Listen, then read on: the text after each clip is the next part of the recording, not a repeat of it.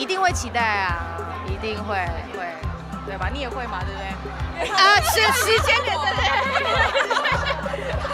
不要抓交替哦。我希望三五以前啦，没有，我不想要当高龄产妇，我比较传统一点，所以没有先有后婚这种事情哦，大家不用紧急，不用紧张。三立八点档《天之娇女》三月九号播出大结局，杀青酒都给她喝起来了。挤满娇子、娇女，小编真的不知道有没有娇孙啊，至少很 proud of 好美 couple 就此诞生。当事人怎么说嘞？不要看我，我救不了你，爸保护我。会闪婚吗？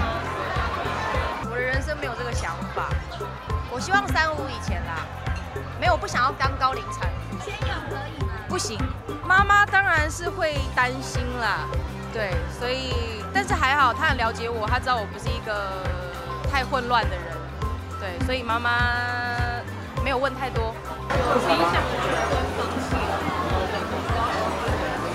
我是觉得求婚还蛮重要的啦，就是女生可能你只能当一辈子只有一次，所以我觉得这是要。怎么讲都不对。现在认识新对象会比较困难。啊、我觉得不会比较困难，可是我觉得会会希望对方不要可能，因为毕竟之前的事情，可能他也许不是知道全貌，可能都是透过呃被断章取义的事情，那就会希望他不要被受影响。那我希望就是他可以了解真正的我这样。现在有约会对象？有在更认识的对象，这女生不管到几岁，不管经历任何事情，你都还是可以向往爱情。电话号码有换过吗？哎，你好像没有。我二十年新闻有点希望，觉得有希望了。没有，我接到的都是那个什么诈骗信贷，然后问要不要借款的。我那时候看到的时候，我真的觉得大 S 很勇敢。我我是今天才知道，原来他们没见过面呢。他们没有见过，没有见过，他们二十年没见过，他们就结了。我我觉得这件事我才有吓到，我不行，这个持续你天天见面，我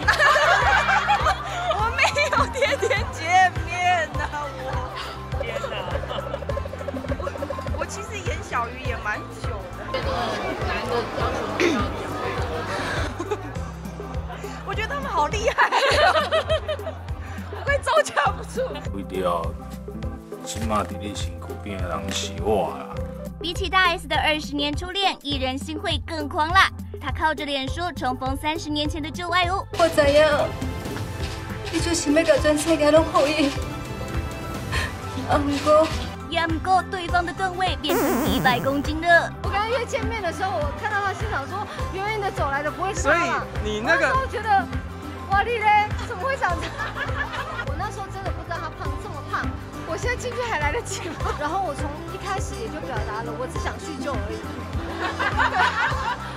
是看到看到他之后才觉得想去救而已吧？因为我那时候只是想刁难他，我只希望当好朋友，所以我就是开了条件给他说，如果你先减二十公斤再说，再决定要不要交往。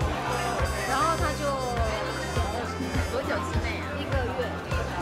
一个月之内我妈妈跟我讲说，人家很有诚意，然后也减了二十公斤，那你要这样玩弄人家吗？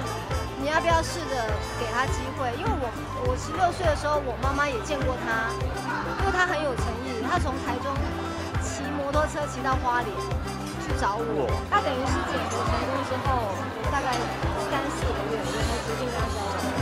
我觉得长相不重要哎，我觉得那个心比较重要。哇，丽嘞，怎么会长这样？